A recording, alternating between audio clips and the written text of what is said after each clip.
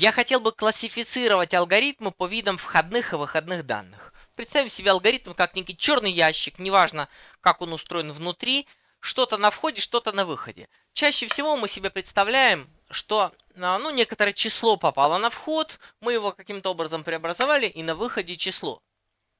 Но на примере разложения числа на множители вы видели, что это не всегда так. Тем не менее, самый простой вид алгоритмов может быть зарисован примерно так. y равно f от x.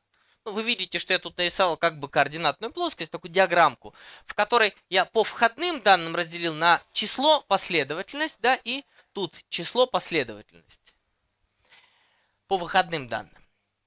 А, соответственно, вот эти вот генерирующие алгоритмы, например, разложение числа на множители, они выглядят так. У нас одно число на входе и неопределенное количество число, заранее неопределенное. То есть, конечно, это зависит напрямую от числа и все. Но их может оказаться одно, пять, тысяча или вообще ноль на самом деле. Может быть такая ситуация вполне. Вот. А, ну, давайте так их и назовем генераторы. Алгоритмы генератора, ну или генерирующие алгоритмы. Я их напишу генераторы в кавычках. Меня сейчас не волнует, как именно это реализовано там в языке программирования, есть ли специальная поддержка для создания генераторов. Не, нам ничего не надо. Главный смысл в том, что у нас есть некие параметры алгоритма. Кстати, их может быть несколько. Ну, некий кортеж, как у нас было с а, арифметической геометрической прогрессией. Старт, стоп, степ, да? То есть, но их фиксированное количество. Или, скажем так, это все характеристики а, последовательности, да? А в результате алгоритма у нас порождается некий x1, x2, x3 и так далее, xn. Вот эти алгоритмы, они действуют ровно наоборот. У нас есть последовательность, которую мы анализируем.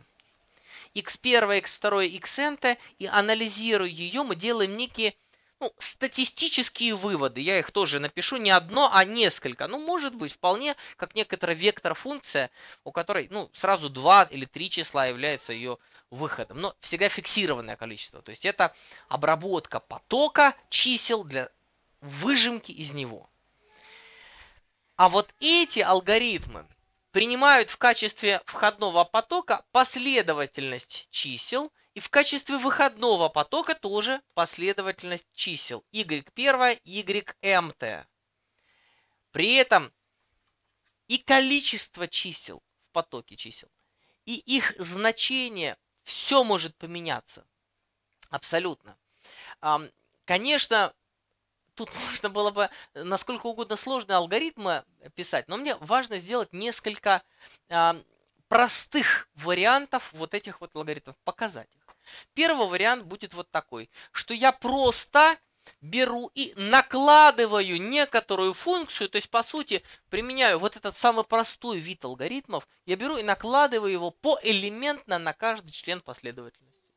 Понятно? Поэлементная обработка. То есть у меня f от x1, f от x2 и так далее, f от xnt. Понятно, да? Это первый вариант, он очень просто и естественен. Да, возведи последовательность чисел в квадрат. Длина последовательности заранее известна. Там, или есть терминальный элемент. Ну, в общем, понятна логика. А есть второй вариант, тоже очень простой.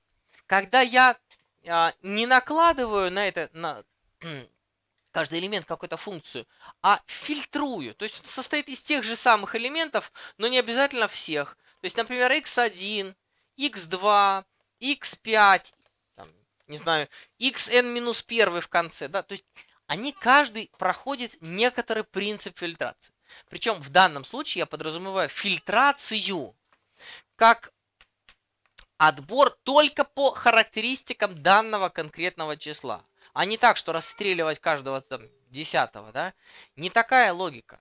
Да, а фильтрация именно вот данное число проходит или нет. Это можно, знаете, с чем сравнить?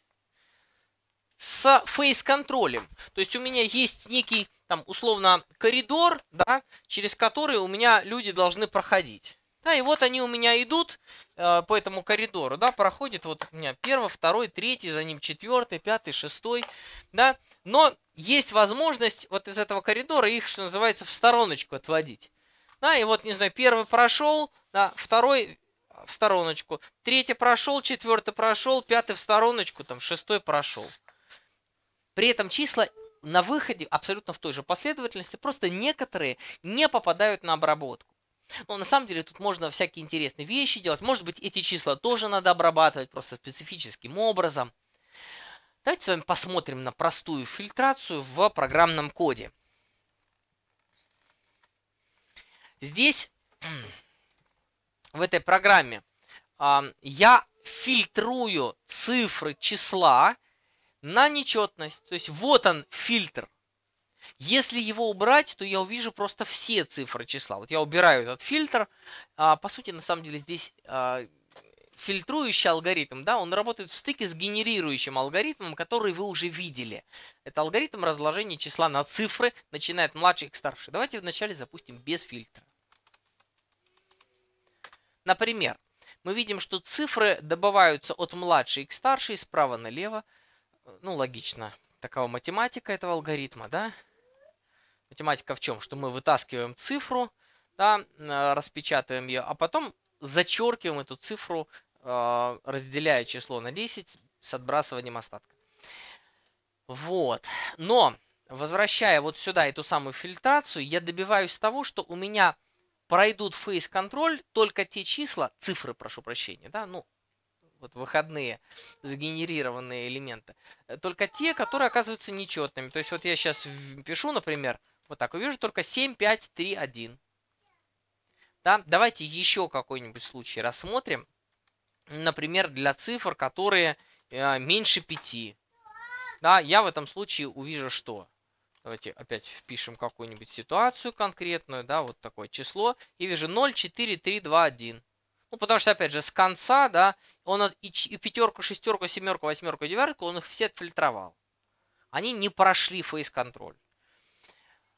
Фильтрация это очень простая вещь, его может не стоило вообще выделять в отдельный алгоритм, но вы знаете, реально встречается, бывает необходимо, и в функциональных языках программирования даже специальные придуманы. Вот штучка такая, которая занимается фильтрацией.